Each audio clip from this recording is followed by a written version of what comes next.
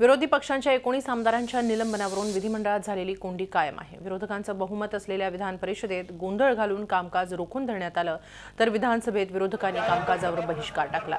सरकार आडमोठी भूमिका सोडायला तयार नसल्याचा दावा विरोधी पक्षांनी केलाय. तर अर्थसंकल्प हा संवैधानिक दस्तावेज जाळल्यामुळे निलंबनाची कारवाई उचित असल्याचं मुख्यमंत्री देवेंद्र फडणवीस यांनी सांगितलं. जी चर्चा करायची असेल ती सभागृहात येऊन करा असं आवाहनही त्यांनी केलं. मात्र या गोंधळामुळे लेखानुदान विधान परिषदेत मंजूर होऊ शकलं नाही. यामुळे सरकारची कोंडी झाली असून आता भाजपचे मंत्री राज्यपालांना भेटण्याच्या तयारीत आहेत. बहुमताच्या जोरावर चुकीच्या पद्धतीनं कामकाज होत असल्याचा आरोप करण्यात आलाय. राज्यपालांनी सभापतींना पक्षपात न करण्याचे निर्देश द्यावेत अशी मागणी मंत्री करणार आहेत.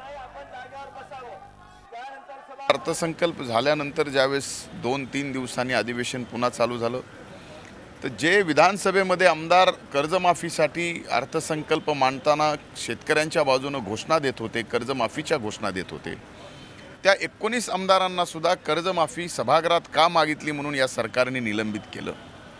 दुसरीकडे आज आपण पाहतोय की बारावा दिवस विधान परिषदेमध्ये आम्ही कामकाज या ठिकाणी होऊ देत नाहीत कारण आम्हाला सरकारला या राज्यातील शेतकऱ्यांची कर्जमाफीचा निर्णय घेण्याला भाग पाडायचा आहे. माननीय मुख्यमंत्र्यांकडून असं खरं म्हणजे कुठल्या प्रकारचं निमंत्रण चर्चेचं आम्हाला मिळालंच नाही. मुळातच गेले तीन दिवस आमच्या सातत्यानं विरोधी पक्षाच्या ह्या बजेट अधिवेशनामध्ये बजेटमध्ये चर्चेत सहभागी होण्याची आमची इच्छा होती.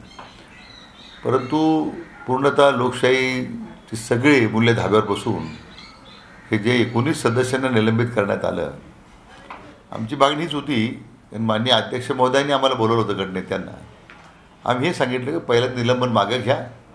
आम्ही चर्चे चर्चेत सहभागी व्हायला तयार आहोत. हे जे काही सस्पेन्शन झालं आहे हे कुठल्याही शेतकऱ्यांच्या प्रश्नावर झालेलं सस्पेन्शन नाही आहे हे सस्पेन्शन केवळ या ठिकाणी ज्या प्रकारचं त्यांचं वर्तन होतं अशोभनीय आणि ज्या प्रकारे थट्टा मस्करी करून एका गंभीर प्रश्नाला अध्यक्ष मोदे चुकीच्या पद्धतीनं या ठिकाणी मांडण्याचा प्रयत्न झाला. त्या संदर्भात ते झालेलं आहे.